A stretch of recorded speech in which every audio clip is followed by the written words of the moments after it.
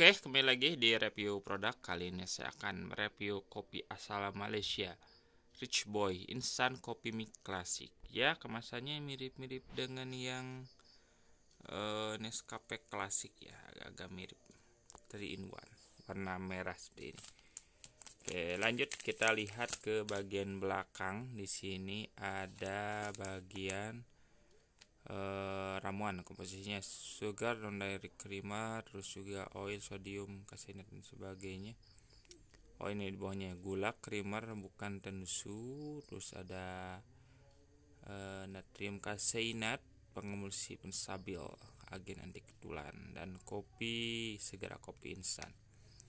Dan ini versi bahasa Mandarinnya terus di sini ada informasi nilai gizi terus ada barcode terus ini dengan 120 ml air panas ya.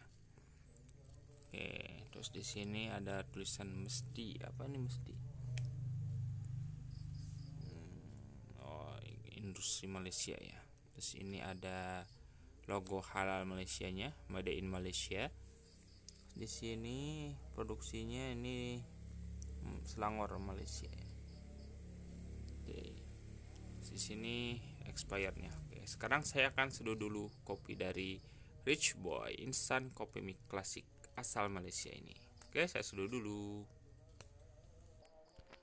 Oke ini sudah saya seduh dari Rich Boy Instant Kopi Mix Klasiknya dan bagaimana dengan hasil seduhannya nah ini adalah hasil seduhan kopinya.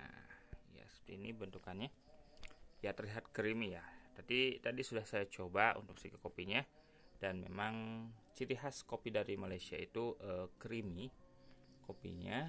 Uh, kopinya juga cukup berasa dan memang nggak terlalu semanis kopi Indo ya. Di sini gulanya itu tapi cukup besar juga sih 11,8 ya. Tapi gak terlalu manis seperti yang uh, kopi Indonesia ya. Kalau Malaysia lebih ke creamy rata-rata coba lagi. Hmm. ya kopi berasa. Uh, seperti creamernya juga berasa. Cukup creamy minumannya dan memang nggak terlalu manis dari yang Rich Boy ini.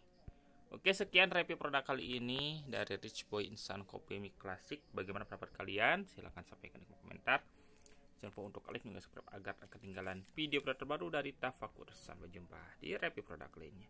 Bye.